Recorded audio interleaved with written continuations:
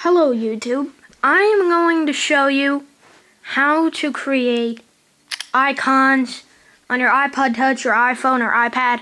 It does not require jailbreaking and it does not require a certain firmware. It just requires App Store access.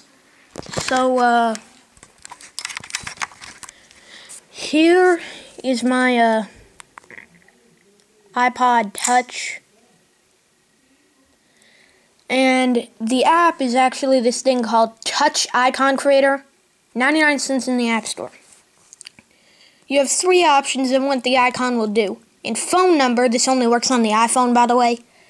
In phone number,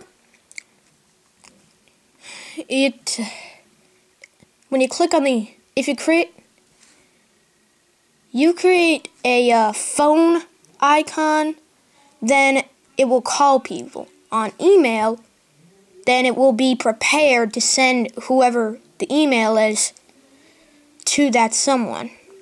URL is actually just this link to a certain website www.google.com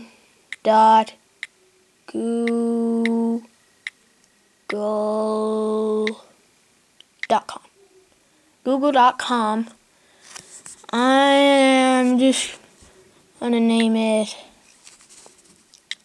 web web.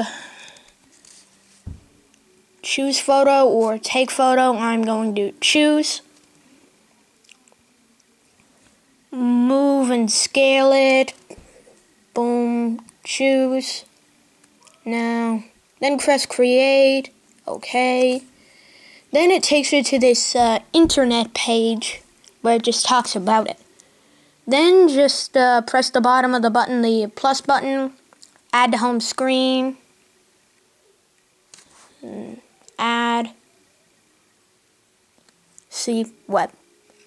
Takes us directly to uh, google.com. Okay, that'll be it, and uh, hope you enjoyed this tutorial. Remember, the app is Touch Icon Creator, 99 cents in the App Store.